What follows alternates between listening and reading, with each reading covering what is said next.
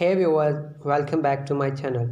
Today we're going to talk about coronavirus or COVID-19. So let's start. Coronaviruses are a large group of viruses. They consist of a core of genetic material surrounded by a lipid envelope with protein spikes. This gives them the appearance of a crown, and crown in Latin is called corona, and that's how these viruses get their name. There are different types of coronaviruses that cause illness in animals and humans. In humans, coronaviruses can cause respiratory infections ranging from common cold to more severe diseases. These include severe acute respiratory syndrome coronavirus or SARS-CoV-2 that was first identified in China in 2003. Middle East Respiratory Syndrome Coronavirus or MERS-CoV that was first identified in Kingdom of Saudi Arabia in 2012 and Severe Acute Respiratory Syndrome Coronavirus 2 or SARS-CoV-2 the name of virus that caused COVID-19 and was first reported in December 2019.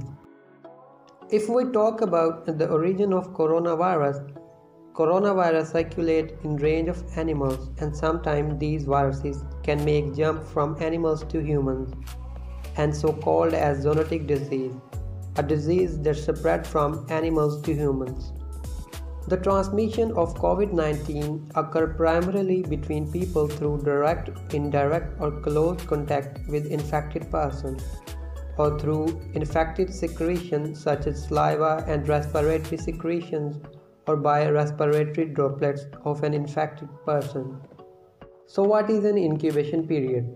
A term commonly used in combination with COVID 19 disease. It is basically a time between exposure to virus and onset of symptoms. This period on average is of 5 to 6 days but can be as long as 14 days.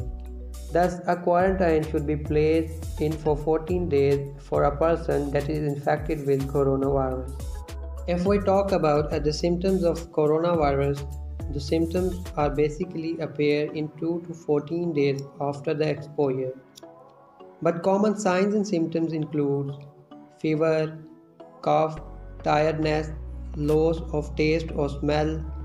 Other symptoms can include pink eyes that is also called conjunctivitis, difficulty in breathing, muscle aches and chest pain.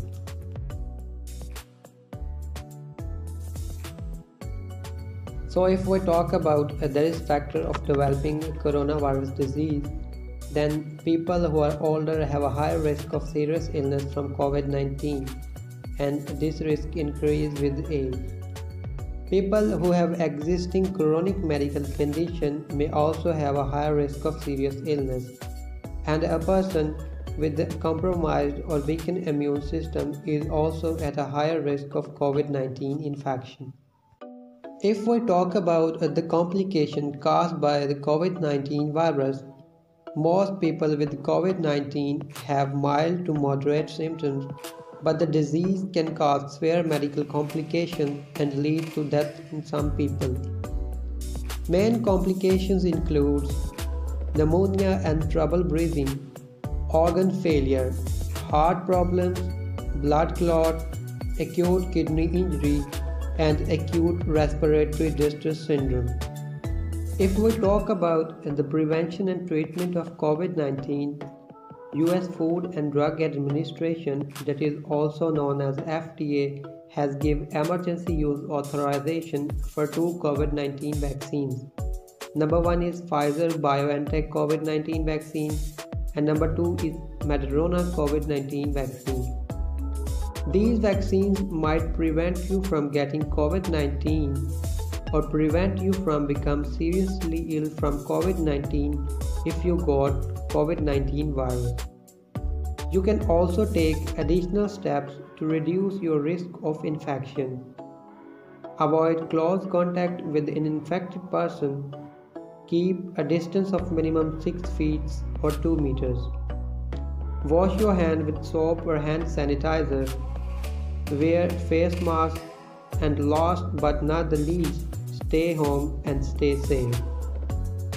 So that's all for today about coronavirus and COVID-19. Hope you like this video. Thanks for watching. For more content about pharmacy and medicine, please like and share this video and subscribe to my channel Pharmacy D. Thank you.